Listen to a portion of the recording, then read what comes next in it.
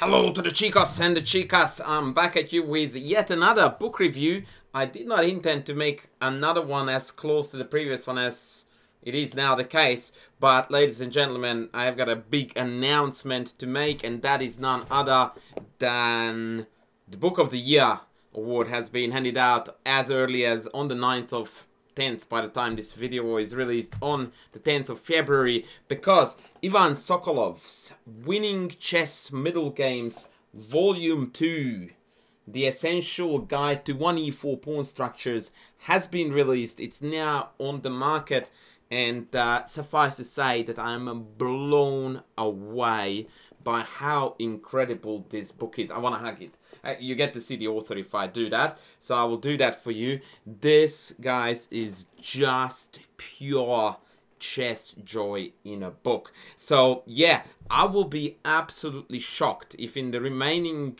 10 months of the year, ah, rather 10 and a half, I will see a better chess book than Ivan Sokolov's winning chess middle games. Before I get into the nitty gritty, and this is going, this is going to be a very difficult book to review because its content is immensely rich.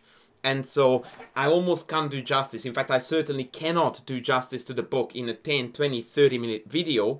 Um, so I'm facing a really tough challenge here. A couple of things to put forward about the book. Just like his D4 book, also titled Winning Chess Middle Games, by the way, the yellow one, this one also doesn't have all the possible potential um, pawn structures that arise in chess. So now I'm already contrasting how lucky I have this one on my desk.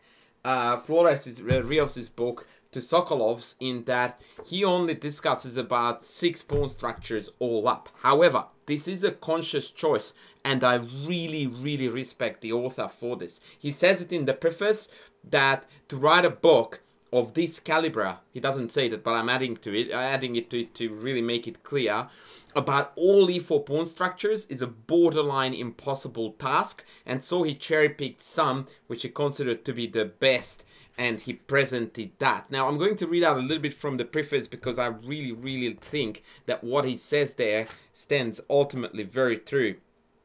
Um, as for the opening lines that I did find their ways into this book, I wanted to analyze the positions thoroughly and the material presented is predominantly aimed at um, improving the reader's playing level. I have tried to present the knowledge I have acquired during 20 years as a top level player plus a coaching career of 10 years working with some of the world's best players of today in an accessible way so that the readers of different chess levels can benefit from it. Now this is one of the most ambitious claims ever, right? So here is a dude who has been a really really strong super GM for 20 years. Then he has been known now as one of the best coaches on the planet. And then he says, I'm writing a book for you and it, I'm trying to make it accessible for a wide range of levels. And yet, he actually delivers in that in spades. Now, before I go on, I would like to stress that this book is very advanced, so it doesn't quite reach to every level. I would say that entry level at the very best is 2100 FIDE, maybe 22. But from there on up, it's open to everyone. And what Sokolov really managed to nail, among other things, is that despite the incredible depth and density of variations he provides, he explains his lines really well. He does rely on engine lines quite often, but he explains the engine lines, and very often uh, he actually dares to contradict the engine, or at least go as far as saying something along the lines of, according to the engine it's triple zero but good luck for black or white or whatever you know what i mean to hold this position or to to you know be able to navigate the jungle of variations arising from the position. So it does have a really really human touch to everything that is in the book. Once again the the lines analyzed are deep they are rich but never did I feel that uh, as I went through certain games or uh, analyzed the, the positions offered offered by the author, that they they got too heavy. I felt overloaded by the variations provided and so on. Somehow it always felt that I had a very smooth narrative and you know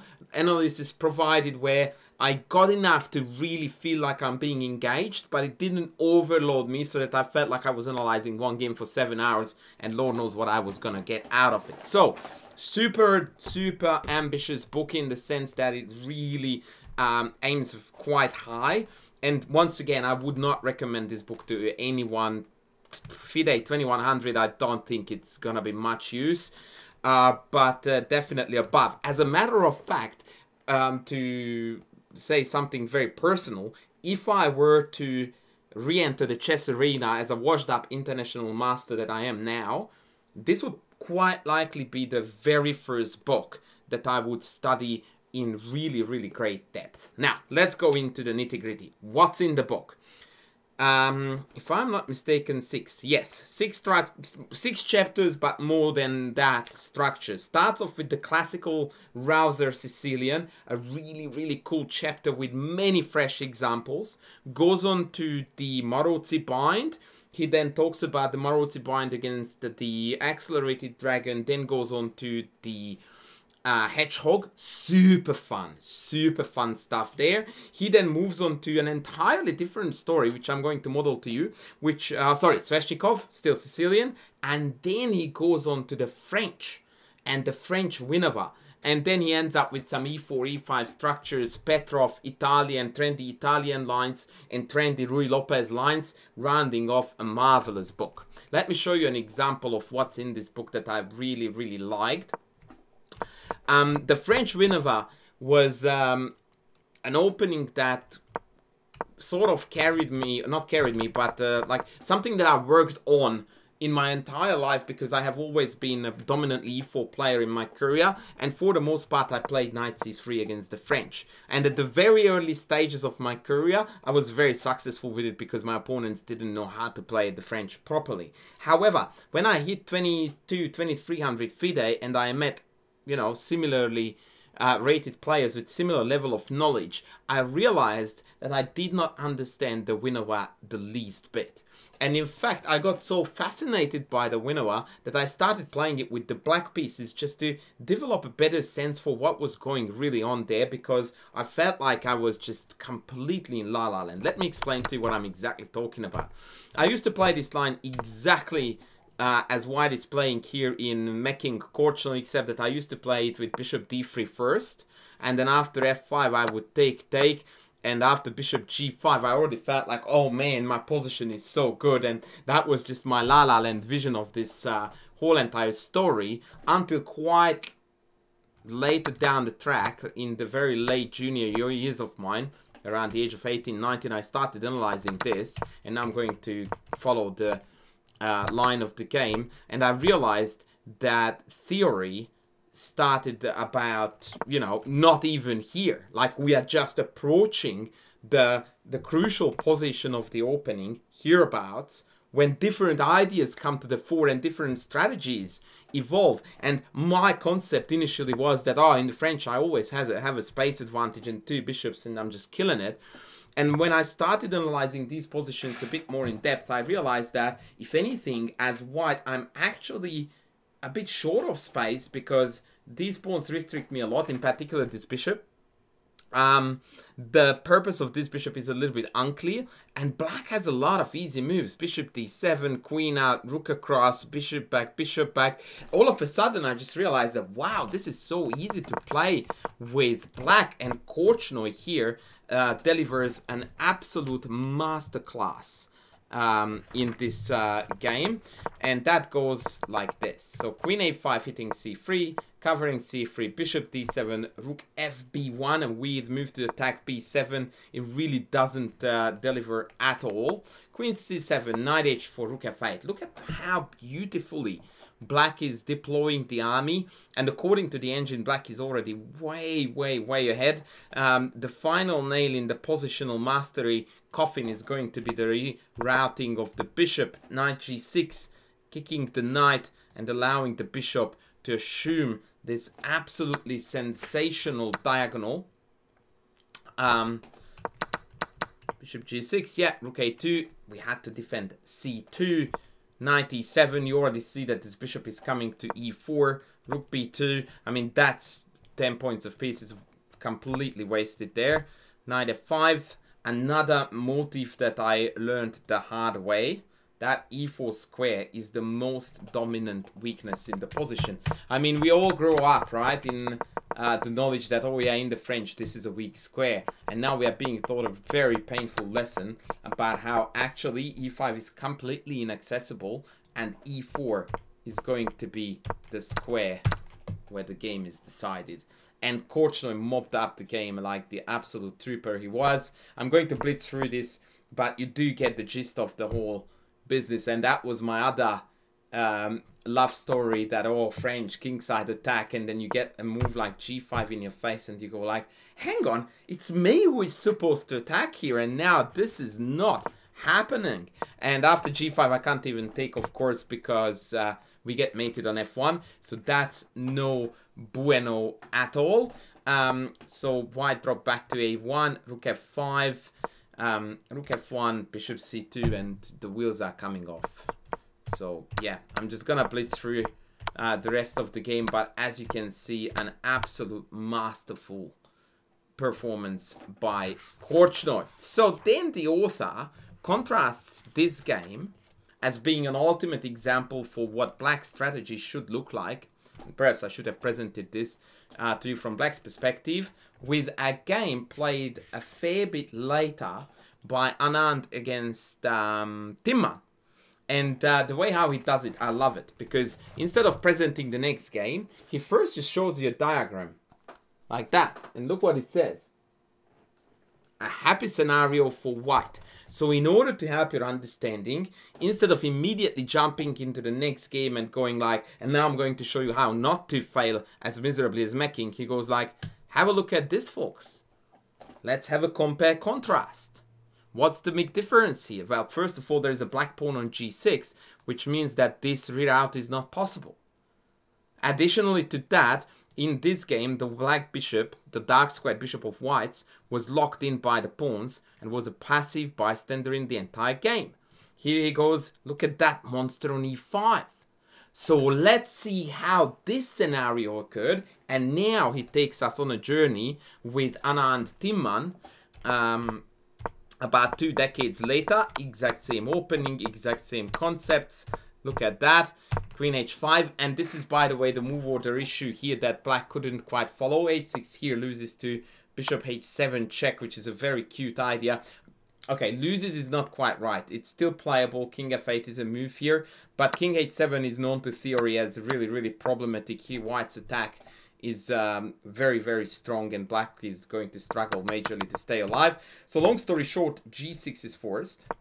And then after queen d1, now we are going into the um, main line and the game with knight bc6. Now, in order to give you a bit of a feel for what sort of uh, lines and comments you can expect from this book, I'm here going to go on a tangent and follow the uh, Sokolov's analysis and comments, at least what I singled out. I didn't quite follow and copy everything out, but I want to show you a couple of things here. So instead of knight bc6, he says that black here can also play slightly differently, following a different plan with queen a5, and he offers the following analysis. Bishop d2, c4, bishop back uh, knight c6. Knight f3. Bishop d7. Castles. King g7. Um, note that we had some plans of conquering the dark squares already, hence king g7 and hence knight g8. But here, now black is in major trouble because it's very clear that the white pieces will be able to conquer the dark squares, in particular d6, and gain an advantage. But we still don't stop because there is a fascinating idea here for black with queen takes c3 sacking an exchange. And now the, the game is just insane because actually he both white and black I checked played out best engine moves for like 10 moves back to back. A4, double exclam. The idea is to play A5 and then trap the queen with rook A3. Hello? Not bad chess. Knight f6, black counters with the threat of knight d4. Know that that wasn't playable because of bishop e5 check. So now we need to defend d4. Now knight e4 comes. Then there is pressure on f2. There's uh, d6 is hanging, so we need to now respond. Rook a3, queen a5, takes, takes, c3, and concludes his line. Ta-da! Another Grandmaster game. This is how Topalov, Yusupov went with an eventual white win. And then he adds even on top and note here the names right? So he's using marvelous examples of top top top top top games. And then he goes all the way back to knight c6 and says there is a different story here. Black can go knight d7 instead which is quite a peculiar idea when this knight comes here and this knight comes here which by the way is a known concept in the knight d2 French with white and look what happens knight c6 now, the e5 break might be on the cards even, so white needs to be careful and strike immediately at the e5 square. But we already know that this is, you know, double-edged. Let's go with that, because now the bishop is locked in. Yes, the space advantage is white's, but it comes at a cost. Knight f6, e4 square, castles, bishop d7, easy moves for black too, by the way. a4, rook f8, bishop f3, all logical moves covering the e4 square, knight d8 exclam with the idea of trading the knight and I stopped here, he doesn't and he explains all these moves and this eventually led to a draw between Sergei, Sergei Karyakin and Magnus Carlsen.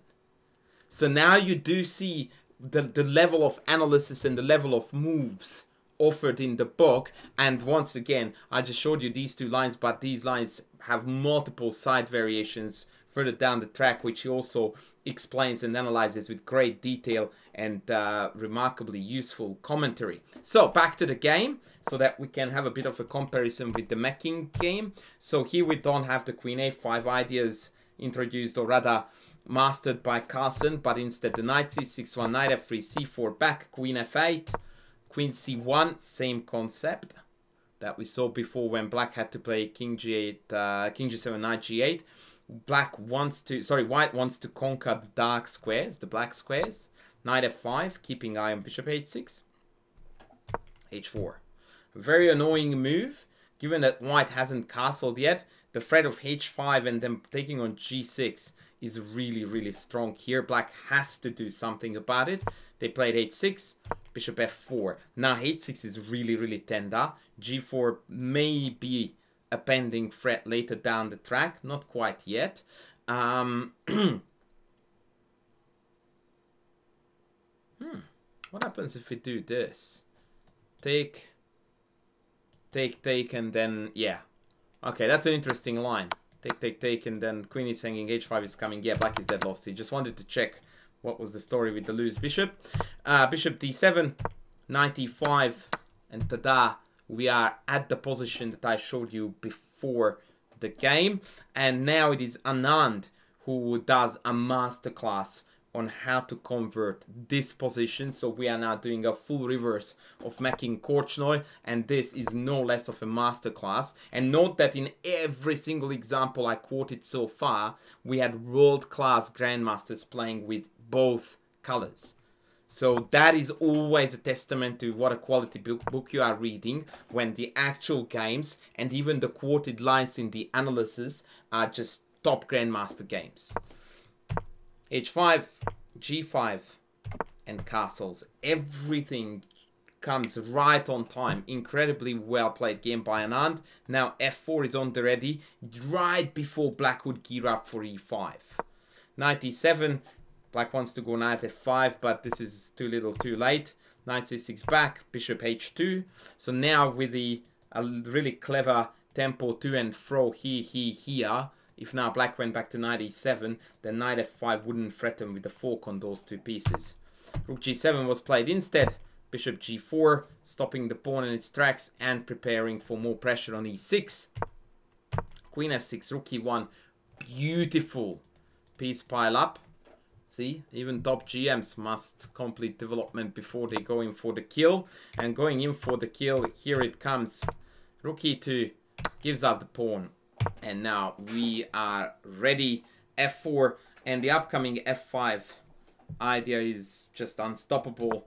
And uh, it is going to decide the game. Eventually, uh, Timman second exchange. But uh, the mighty forces of Anand on the e-file proved to be too powerful. It actually fizzled out into an endgame um, like this where it feels like black might have enough play because of the queenside pawns but the reality is is that the heavy pieces are just way too powerful and they penetrate with elementary power and decide the game so I tried to give you a bit of uh, an insight into the depth of the book, which I think I kind of did. I couldn't get even remotely close to convey most of the ideas as well as Sokolov does, and in fact even demonstrate them, especially in the sidelines. But suffice to say that this book um, has been entertaining me now for several days. I love going through the games and the incredibly well detailed and well explained can't emphasize enough really well explained analysis so it is an absolute joy once again a difficult and challenging book but if you are up to this level, boy, are you in for a jolly, jolly good ride and an awesome learning opportunity. Five out of five stars, hands down. Um, when Sokolov's first book came out, I thought that that was a masterpiece.